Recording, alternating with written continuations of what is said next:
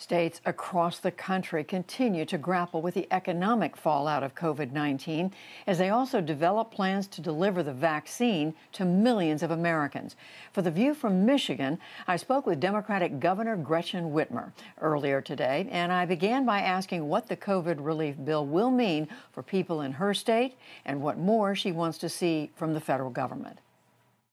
Well, I think it's really important that they took this step forward, and it is not nearly enough. It is does not nearly address everything that we are confronting as states across the country. And governors on both sides of the aisle have been very clear. We need uh, additional resources so that we can make sure that we're doing our job to build out vaccine administration and taking care of first responders, et cetera.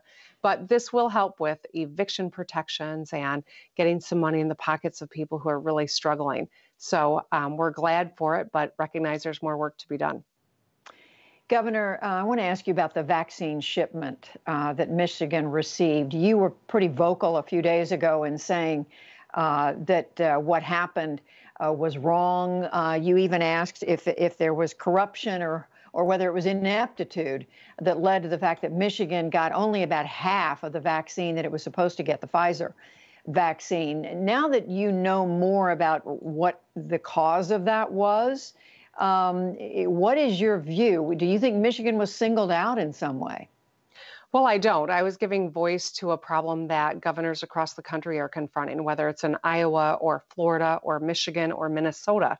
I know that governors are trying to build out an apparatus to administer vaccines, and yet we are reliant on the federal government to deliver, and we expect them to deliver what they're telling us is, is on the way. So when it shows up um, as a fraction of what we're expecting, that means that there's waste. It means that we're not inoculating people, and I wanted to know why. So I was glad that General Perna owned it and apologized for it. That doesn't happen very frequently with this administration.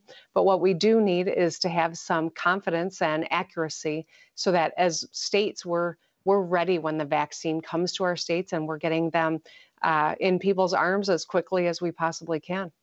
So you accept his explanation for what happened. He said it was a miscommunication. That's what he said. I'm hopeful that that's the case and that they won't make that mistake again, but certainly we'll be holding people accountable because lives are depending on our ability to vaccinate the people of our states.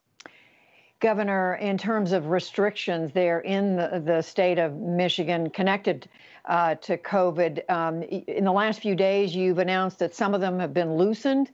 Uh, after some good news, uh, we see the, the, I guess, the number of cases, the number of hospitalizations in Michigan. Both of these have gone down. What do you owe this uh, sign of progress to? How do you how do you explain it?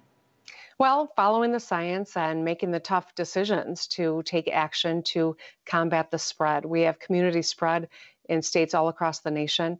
The Midwest is uh, that's certainly true where we're, we are, and yet Michigan now is in a stronger position than any of our neighboring states because I've not been shy to take action where my experts are telling me it will make a difference. And sure enough, this pause is working.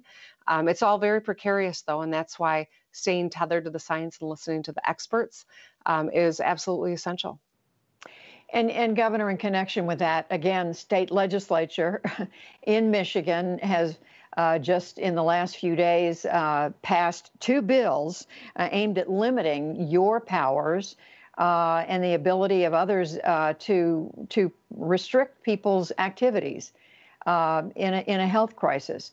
Um, what does this say to you about um, the the respect that you're given about how people see your role as governor in handling this this this pandemic? Well, I think it's less about me and more about the politics of 2020 and the Trump administration's um, intentional politicization of a public health crisis. This virus does not care about our politics. It doesn't stop at state line. This is a moment where we should be unified as a nation against a common enemy the work that I'm doing is focused on the science and saving lives and saving the lives of everyone in Michigan, whether they're supportive of our policies or not. That's my job as governor. I'm going to keep doing it. And this legislation will meet a veto by my pen. And we're going to continue to move forward and try to find some common ground because that's ultimately what we need to do. Do you expect more efforts in Michigan to try to limit your power, your ability uh, to impose restrictions when necessary? I wouldn't be surprised. But, Judy, here's the thing I'm not going to be bullied into not following the science or not doing what I know to be the right thing. Lives are on the line, and Michigan has been a leader in saving lives. I'm proud of the work that we've done. We're not out of the woods yet, but there is hope. Um, and it's coming right out of Portage, Michigan, with that Pfizer vaccine and the Moderna vaccine that is now available as well. And finally, Governor, you were, as everybody knows, the, the victim of, a, of an intended kidnapping plot back in October. People were thankfully arrested. Uh, but since then, uh, others have been threatened, not just in Michigan, but around the country, um, opposing uh, your handling uh, you, and, and the handling of others of this virus. Your Secretary of State, the Director of the State Department of Agriculture, Michigan State Health Director, all of them have had protesters come to their homes. Uh, we're seeing this happening around the country. Um, how worried are you about these kinds of activities? How dangerous are they? I think that the rhetoric that has played out in 2020 has a cost, and people of goodwill on both sides of the aisle have to call it out and say domestic terrorism is unacceptable and will not be tolerated. If we don't, it won't be long before it is turned on you who doesn't speak out. And that's why it's so important that we recognize this is not normal. It is not acceptable. And whether it is Dr. Fauci or it is a Republican Secretary of State in Georgia or the Democratic Secretary of State in Michigan, it will not be tolerated. Do you have concern that it's going to drive people out of government? I think that that is a logical possibility. I'm hopeful that it doesn't. What I have seen though is even though Dr. Fauci has gotten threats, there are more people going to medical school now because of Dr. Fauci. So there is inspiration even in these toughest moments of crisis. And there's always opportunity in government for people of goodwill who want to serve the public.